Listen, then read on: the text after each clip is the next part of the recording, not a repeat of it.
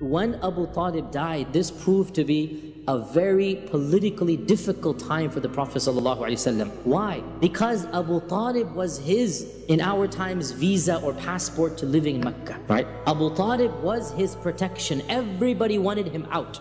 None of the elders of the Quraysh wanted him to be in Mecca. And so with the death of Abu Talib, he was in a very precarious situation. And so the Prophet ﷺ decided in the month of Shawwal, basically the same month that Khadija dies. Few weeks after Abu Talib dies, life in Mecca became almost impossible because there was nobody to really protect the Prophet wasallam. This is when the Prophet began thinking about leaving the city of Mecca. And the first city that he thought, thought of was the city of Ta'if. And so the Prophet decides to leave and try a secret attempt. He doesn't publicize this. So he, along with Zayd ibn Haritha, ventured on foot so as not to arouse any suspicion. To walk up there is a day and a half or two days.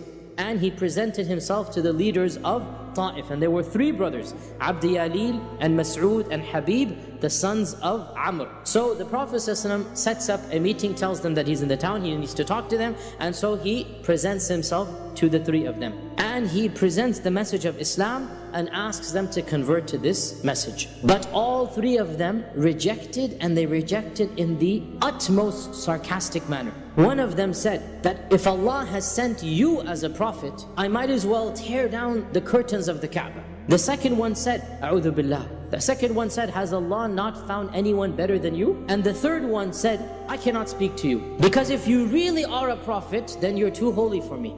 And if you are, A'udhu Billah, a liar, then you are too beneath my dignity that I respond to you. So all three of them mocked him with the utmost mockery. And the Prophet stood up to leave and said, Very well, if you have rejected my message, then at least do not tell the Quraysh of my visit. According to uh, the more authentic reports, he didn't just leave Ta'if right then and there. Rather, he stayed there for around a week. So he preached there for a week and we have authentic reports of some of the later Muslims recalling from Ta'if, later converts recalling, I remember the Prophet ﷺ preaching in Ta'if, in the suq, in the marketplace and nobody responded to his call, i.e. nobody converted to Islam. And in one such incident, when uh, somebody might appear to have converted, this is what sparked them all. So even after the leaders rejected him, he stayed in the city approaching the laymen. So there was a potential of some people converting, and that was when the leaders of Ta'if panicked. And they sent the mob against the Prophet They gathered together, the riffraff, the ruffians, they gathered together, you know, the people who have nothing better to do, and they told them, they told these people to go and stone this man out of the city. And so here is when the story that we are all familiar with, that they came and they pelted him with stones, and Zayd ibn Haritha radiallahu ta'ala an, tried his best to protect him. He himself was injured from head to toe. But how much can you protect when they both are running? And this was when uh, the Prophet ﷺ, uh, bled and his sandals were soaked with blood. And there is no protection from an entire mob that is pelting them until finally they let him out of the city. And we have a beautiful narration from Aisha radiallahu anha reported in Sahih Bukhari that Aisha radiallahu anha said that, O Messenger of Allah, was there any day that was more difficult for you than the day of Uhud? And the battle of Uhud, the Prophet is almost about to lose his life. Two or three wounds come to him. And Aisha, uh, the Prophet immediately says, Yes, indeed your people have hurt me a lot. And the worst irritation that I got was on the day of, he called the day of Aqaba. Aqaba is where the stoning took place. This was outside of Ta'if.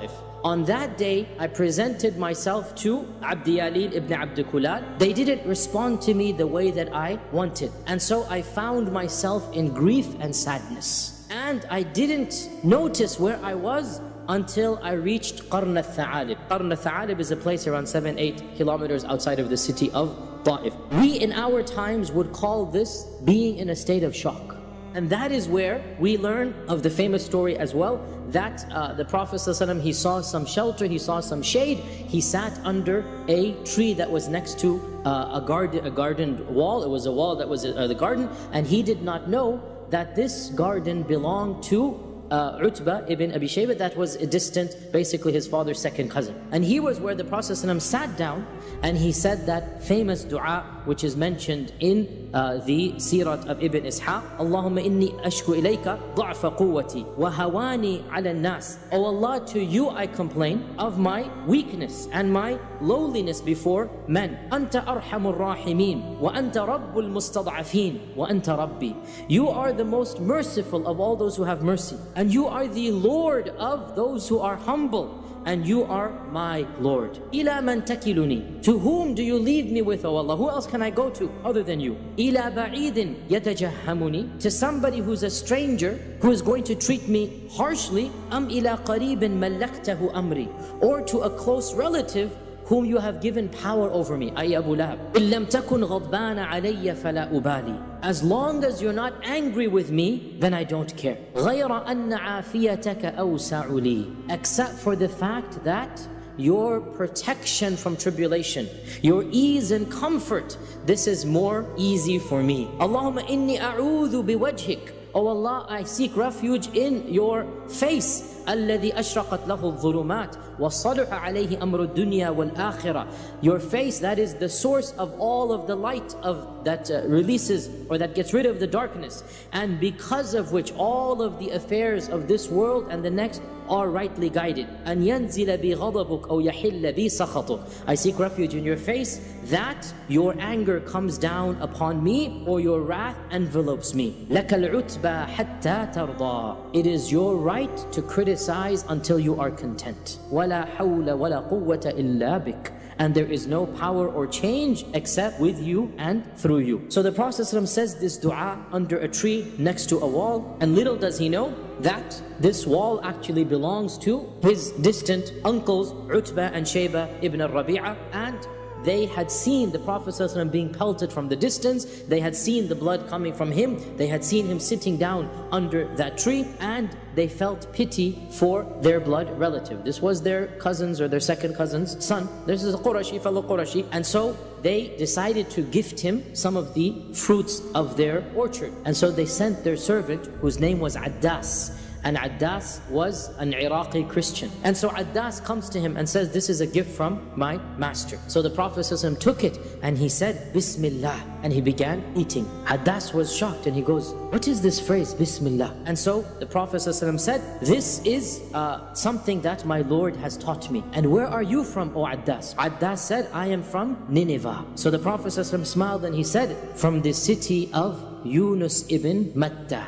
Addas was shocked and he said, how did you know Yunus ibn Matta? Nobody in this whole land has ever heard of Yunus ibn Matta. And the Prophet said, how do I not know Yunus? He is my brother and I am his brother. We are both prophets of Allah. And so Addas instantaneously began kissing the feet of the Prophet as the Christians did to respect their elders and their and their rabbis and their priests. And he believed in him right then and there. There is a symbolism here that Ya Rasulullah, even if your own people and the people that are closest to you, Ta'if and Makkah, have rejected you, know, Ya Rasulullah, that you are upon the truth. And even a person from the furthest world, from the furthest corners of this land, even these people will recognize your truth. And a time will come when his people as well, the people of Iraq and the people of all of those faraway lands will recognize this. That even if the near have rejected you now, the far shall accept you soon. The two masters are staring in shock that they send their slave with grapes